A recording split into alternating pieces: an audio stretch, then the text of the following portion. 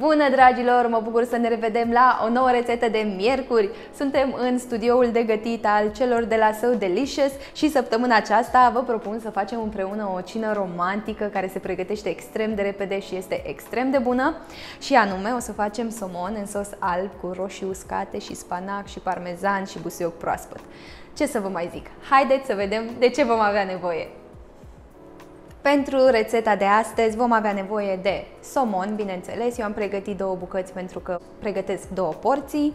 Vom folosi 200 de grame de spanac congelat, decongelat sau puteți să folosiți și spanac proaspăt.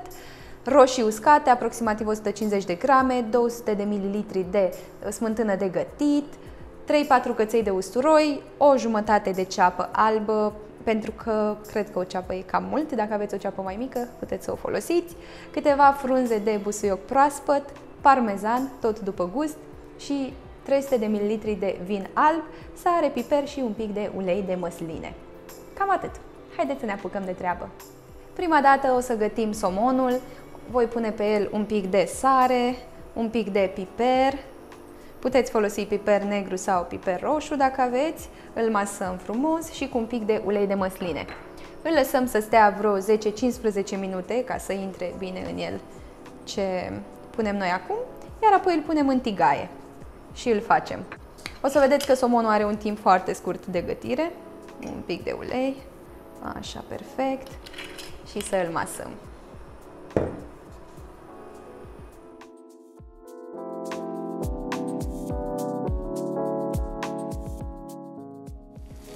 Cât timp se face somonul, o să toc ceapa și căței de usturoi.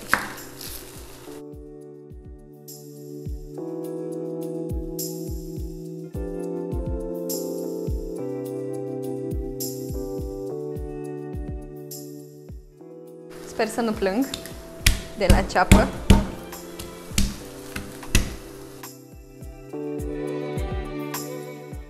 Ce mai spune somonul nostru? Că vrea să fie întors pe partea cealaltă. Bun, hai să vedem.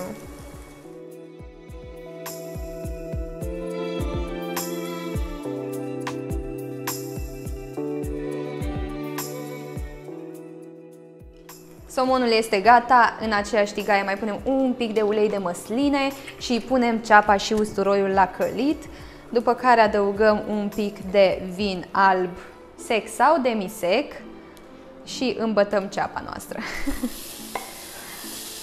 Așa. Perfect.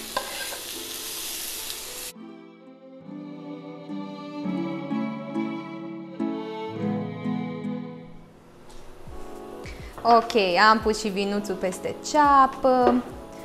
Fierbe aici.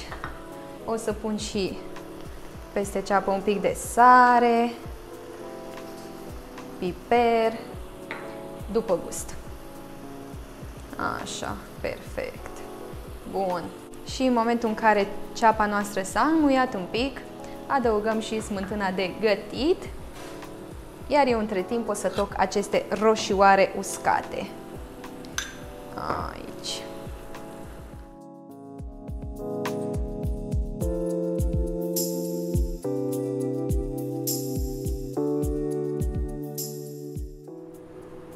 Acum am pus și smântâna de gătit și o să adaug și spanacul. Ia să vedem.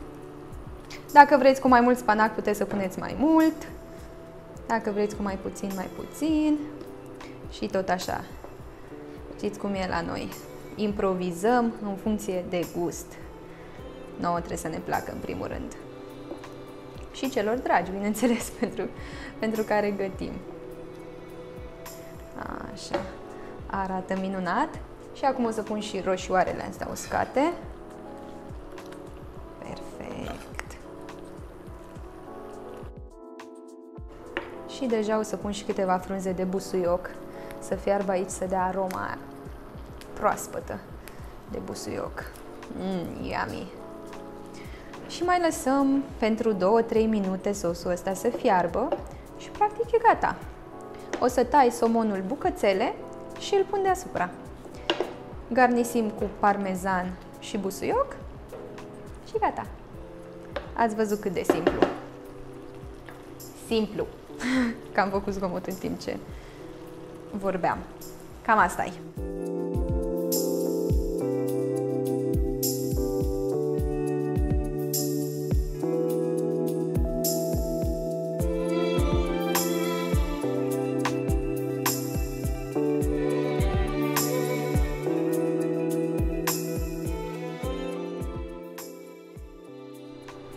Iată că am ajuns și la finalul rețetei de astăzi, arată ceva de vis.